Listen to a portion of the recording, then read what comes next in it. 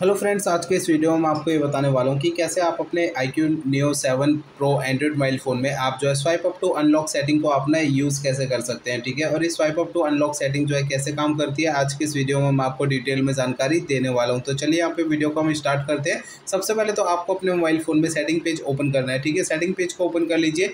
Setting page में आपको नीचे ये ऑप्शन मिल जाएगा शॉर्टकट एंड एक्सेसिबिलिटी इसे आपको सेलेक्ट करना है। इसके अगले पेज में आपको ये ऑप्शन मिलेगा स्मार्ट मोशन इसे सिलेक्ट करना है। इसके अगले पेज में आपको ऑप्शन मिलेगा स्मार्ट वेक इसे आपको सिलेक्ट करना है। इसके अगले पेज में आपको ये ऑप्शन मिल जाएगा स्वाइप अप टू अनलॉक इस ऑप्शन के ठीक सामने आपको ये बटन दे रखा है। इस बटन को आपको टैप करना है। तो ये बटन आपका जो है ना टैप करने पर ब्लू कलर में ऑन हो जाएगा, यानी कि आपकी सेटिंग इनेबल हो जाएगी, ठीक है? अभी swipe up to unlock setting जो है ऑन होने के बाद ये सेटिंग कैसे काम करती है, ये मैं आपको समझा देता हूँ। देखिए दोस्तों, जब भी आपके मोबाइल फ़ोन की स्क्रीन ऑफ़ होगी, ठीक है इस तरीके से जब भी आपके फ़ोन की स्क्रीन ऑफ़ होगी ना तो आपको करना क्या है, आपको जो है ना, नीचे से ऊपर की तरफ़ आपको स्वाइप करना है, थोड़ा लंबा स्वाइप करना है। इससे क्या होगा, आपके फ़ोन की स्क्रीन ऑन हो जाएगी, ठीक है? तो ये आप देख सकते हैं, ठीक है? तो ये सेटिंग जो है ना, ऐसे काम करती है, swipe up to unlock setting, ठीक है? और यहाँ पर आपको ये लगेगा कि स्वाइप अप टू अनलॉक लिखा है तो यहाँ पर मेरे मोबाइल फ़ोन का स्क्रीन लॉक अनलॉक क्यों नहीं हुआ, ठीक है? तो दोस्तों, ये हमारे फ़ोन के ना, ऑफ़ स्क्रीन को ऑन करता है, हमारे स्क्रीन लॉक को अनलॉक नहीं करता है, ठीक है ना? तो ये सेटिंग जो है ना, ऐसे काम करती है। अब मैं आपको इस सेटिंग को ढूँढने का